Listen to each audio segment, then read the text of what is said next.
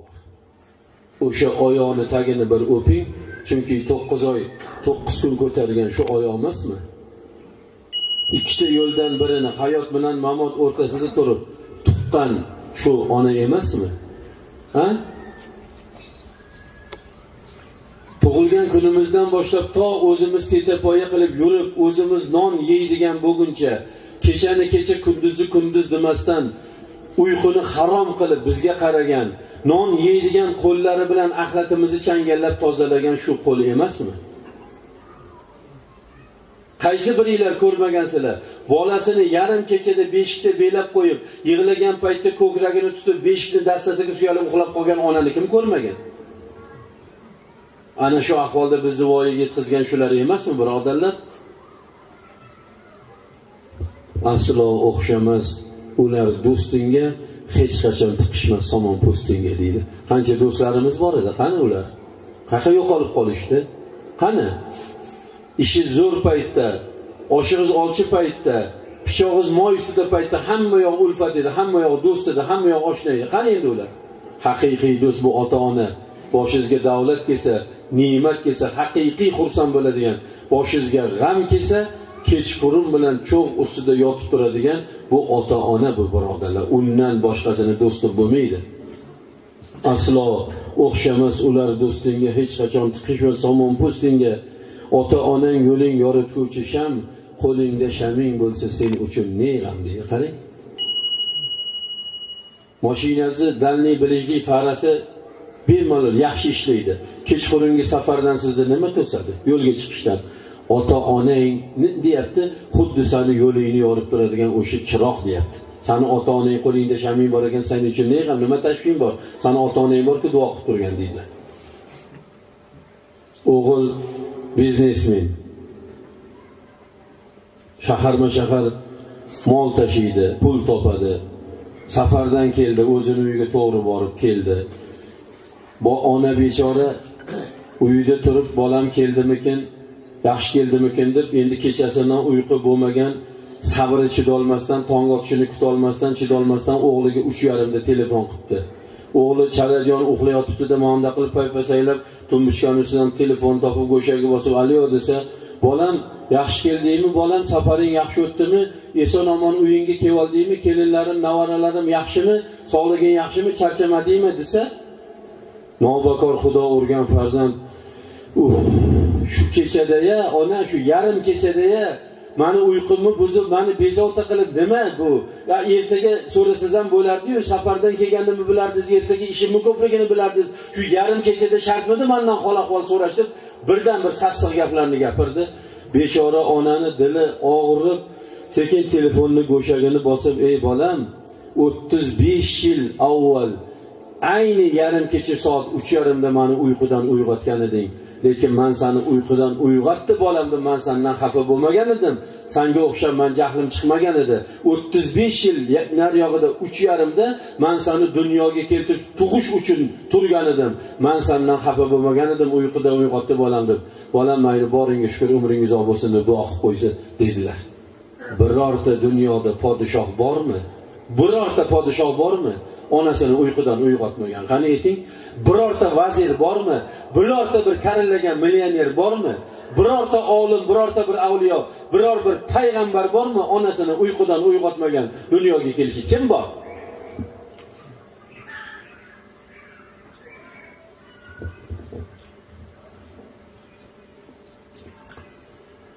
Bugun farzandlaringizdan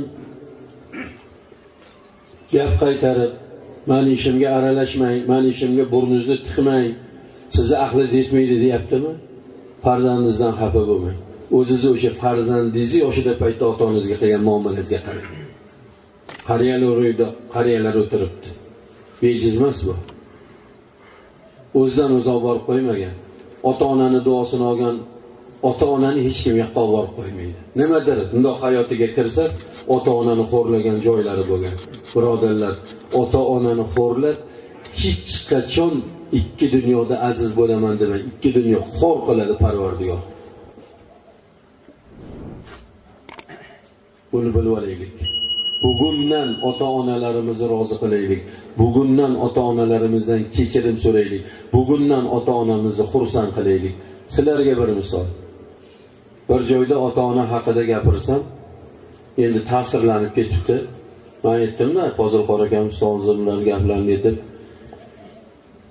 o'sha shaharda ayniqsa haligi saharlik qiladigan joylar ko'payib ketdiyu saharga xonadonlarda tumonat odam besh yuz minglab odamni saharlikka boryapti. Man kechqurun xatimdan qaytayotgan paytimda sekin yurib ataylab e'tibor qilgan joyim haligi malibu captivalarda kelyaptida har bittasidan to'rtta beshta yosh yosh yigitlar tushib o'sha joyga saharlik qilyapti. Man e'tirozim yo'q. Olloh qabul qilsin mayli ro'za tutayotgan ekansan xudo rozi bo'lsin. Lekin bundan afzal amal bor edi. Bir tovoqni olib borib bovur aka mana unga besh borsa soling deb oshni soldirib lazer guruchiga bedana tuxumi qazi kesim bilan otani onani uyiga borib turdingizmi dadajon? Onajon turdingizmi? Mana saharlik olib keldim. Bir maza qilib saharlik qilaylik otajon mana bir haqimga duo qiling deb qilsa bo'lardiku. Yoki mana shu o'zimiz ramazon oyida o'sha boshqa uchastkalarda yashayotganlar. Bir shirin tansiq taom olib kelib otamizga saharlik qilib berdikmi? Onamizga saharligini olib keldikmi? Qani aytinglarchi bormi birorta mard? Turib man qildim degan borsin qo'lini ko'tarsin. O'zimizdan ortganimiz yo'qu. Ha bir joyda shuni gapirsam kap katta yigit uyiga boribdida ey xotin tur bir go'shtli ovqat qilgin. Go'shtli ovqat qil bir otam bilan onamni ko'rib kelamiz desam xotini hayron emish. Voy nimaga? Kasal bo'lib qolibdilarmi mazalar bo'lmay qolibdilar hayron bo'lyapti deydi man rasvoni qarang deydi. Agar shu narsani avvaldan qilganimda xotinimni e'tirozi bo'lmasdi bunaqa hayron bo'lmasdi agar deb shu yoshga kelib turib unda ham bir insonni gapini ta'siri bilan qilsam xotinim hayron. Qachon? Faqat ota ona kasal bo'lganda borib ko'rish kerak degan tushuncha borda bularda. Uyda o'tiribsiz. Dadalar mana o'tiribsizlar ba'zilarni kampiringlar sirdoshinglar o'tib ketgandir dunyodan yolg'iz o'tiribsizlar saharlab o'g'linglar bir tovoqda sizga go'shtli ovqat kelib olib kelib qo'yib oling dada saharlik qilinsa nima degan bo'lardingiz qani?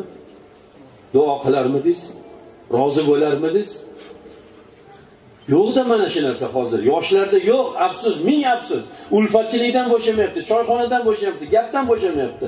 Ho'p gapni lazer guruchga oshyapsan devzalar o'sha joyda o'tirganingda otam nima yeyotgan ekan deb qo'y insof.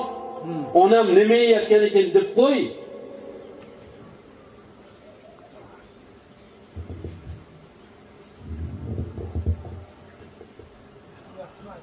Bolamizdan bir mana shunaqa qaqshatchi zarba yeganda endi yig'lab o'tirishga ne hojat mani qaysi gunohim uchun deyishga nima hojat? Nima foyda? Birodarlar tirikligida qilmaylikmi ularni? Xizmatini qilmaylikmi?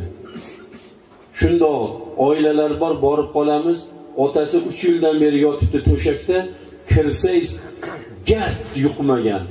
Shunaqa pokiza muattar hid xushbo'y qarayapti o'sha yotgan otasiga lekin ba'zi joylarga borsangiz astag'firulloh ikki uch yildan beri yotgan ota onani boshi u yotgan uyi molxonadan battar sasib yotibdi. Bosh tiqib bo'lmaydi.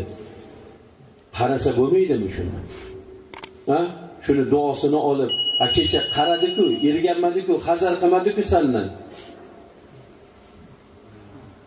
said azim hoji degan bir hoji dodamiz borlar to'qson sakkizga chiqqanlar. Hammamizdan tetik mana shundoq yuradi o'rtasaroy tomonda mana shundoq yurdi gaplari ham kesda suyagi sindirib tashlaydi og'zidan chiqayotgan gap. Shu odam bir joyda suhbat qiluvdim oxirida aytdilarki qorim dedilar man onamlarni oyoqlarini tagini o'pib duo olardim dedilar. Har kuni o'pardim bolam dunyo turguncha tur umring uzoq bo'lsin dard ko'rmagin dedilar. Shu yoshga chiqdim bitta tabletga ichmadim bitta ukol olmadim dedilar. Man tengilar allaqachon yigirma yil bo'ldi o'tib ketganiga o'n besh yil bo'ldi o'tib ketganiga mana alhamdulillah hech kimdan kam yo'q shunaqa baquvvat yur nima bilan? Onani duosi bilan birodarlar. Olaylik shuni. Xotinini onasidan afzal ko'radiganlar bor. Xotinini onasidan ustun ko'radiganlar bor. Qachon tinch qo'yasiz mani xotinimni yashaganda qo'yasizmi qo'ymaysizmi deyapti. Qarang onaga aytyapti. Tinch qo'yasizmi axir bu ham bechora birovni bolasiku deyapti. Xotiniga rahmi kelyapti onaga rahm qilayotgani yo'q badbaxt. Xudo urgan bir oxirgi gapim shuki bir yigit bo'lardi xotinini oldida onasiga baqirardi. Og'iz ochirmas edi siz jim bo'ling aralashmang mani ishimga derdi lekin xotinini aytganda aytganini muhayyo qilardi. Bir kun mushtipar ona bechora tomdan narvonga narvondan tomga chiqib bir paytlar mana shu badbaxt bolasi yotgan eski chang bosib ketgan beshikni olib tushib bolani oldiga to'q etib qo'ydi deydi. Ona beshik nima hojat nima kerak? Bizni uyimizda beshikda yotadigan chaqaloq yo'qku desa ey nonko'r. Badbaxt bola bir paytlar mana shu beshikda yotarding sani orom olsin uxlasin deb sani shu beshikka belab oyoq qo'lingni tang'ib shu oyoq qo'lingni tang'ib bog'lab qo'yganimda yuzingga qo'ngan chivinni ham uchirishga qurbing kelmas edi. Pashshani uchirolmas eding. Man sani pashshalardan asrardim. Orom olsin deb mani birinchi vazifam sani qorning to'q bo'lsa san uxlasang bo'ldi man shundan orom olardim. Bolam mana shu beshikda katta qildim. Taglaringni yuvardim axlatingni tozalardim ishtonchalaringni ko'ylakchalarini yuvardim. O'sha xizmatlarni man qilayotgan paytimda hozir aytganini aytganda qilib berayotgan xotining u qayerda edi? Manga kelib yordamlasha olganmidi? Mani xizmatimni qilganmidi? Shu qayerda edi mani? Shu ishlarni san uchun qilganimda badbaxt degan ekan. Ko'zini ochib tavba qilib onadan kechirim so'radi deydilar. Kechirim so'raganlar bittadir lekin kechirim so'ramayotganlar mingta. Gapim shuki ota onani rozi qiling. Ota onani duosini oling birodarlar. Ularni duosisiz hech qayerga yetib bo'lmaydi. Hech kim bo'lmaydi bu hozir o'sha lavozimda ishlayotganlar bordir pul topayotganlar bordir. Bir qarang qaysidir yo'l bilan otasini onasini rozi qilyapti. O'shaning uchun beradi bularga omadni. Bizlar ham shu xizmatni qilaylik birodarlar. Duo olaylik. Duo ota onani duosi rad qilinmaydigan duolardan birodarlar. Illo juvarmay bugun palon bugun tugun bugun degan gapni oldingizmi? Ovora bo'lmang. Kelajagingiz faqat xorlik bilan yashab xorlik bilan o'tadi. Man beshta yigitni bilaman aka uka otasini urdi qo'shnilar aralashdi. Militsiya chaqiradi. Qo'shnilarim bizni otamiz bilan urishdi deb qo'shnilari aytadi. Undan keyin ular ham aralashmay qo'ydi otani uradi. Otani aytgan duosi nima? Yegin ichgin illo ko'r bo'lgin deb duo qildi. Bizlar tengi hozir katta o'g'li bor bizlardan kattaroq. Hali oltmishga bormagan. O'tirgan joyida ko'zi oqib tushdi shunda shilq etib oqib tushdi. Tosh ham tekkani yo'q sim ham kirgani yo'q bir narsadan. O'tirgan joyda shunda kosasidan oqib tushdida hali tuxumni chaqqanizni ichidan chiqib keladi xuddi shuni singari. Otadan keyin shu bo'ldi. Onani urdi. Mana qolgan to'rtta ukasi ular ham man tengi mandan kichikroq shu ko'chada bakalashga terib xor bo'lib yuribdi. Bugun o'sha yigitlar o'n yetti o'n sakkiz yashar bolalarni ketida ergashtirib ko'chada musorlarda titib bakalashga terib yuribdi. Bularga oxirgi qiyomat soatigacha keladigan zurriyoti bularni bakalashga terib musor tutadi. Chunki bular relsdan o'zini izdan chiqarib ketgan. U relsga hech kim solib qo'yolmaydi olmaydi birodar man ko'zim bilan bunaqa misollarni mingtasini ko'ryapman. Ota onani duosini olgan xizmatini qilganlarni ham ko'ryapman. Norozi qilib qarg'ishini olganlarni ham ko'ryapman birodarlar ko'zni ochaylik. Agar hozir ota onamiz duodan dunyodan o'tib ketgan bo'lsayu vaqtida rozi qilolmagan bo'lsak birdan bir narsa besh mahal namoz o'qib allohimma mag'firli val volidayni duo so'rashdan boshqa narsa bizlarni qo'limizdan kelmaydi azizlar qora akamlar ollohni kalomini xatm qilganlar inshaalloh xatmi qilib beradilar. Ustozimiz saydi karim inshaalloh go'zal duo qilib beradilar. Assalomu alaykum va rahmatullohi